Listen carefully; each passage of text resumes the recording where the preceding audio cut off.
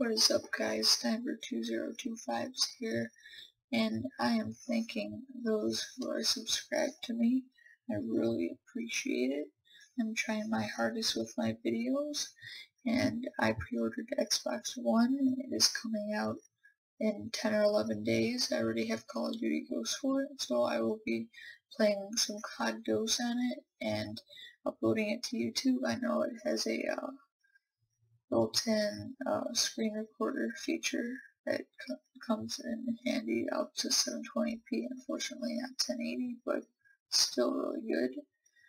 And keep watching my videos, subscribe if you're new, like it up. Thanks guys, see you later.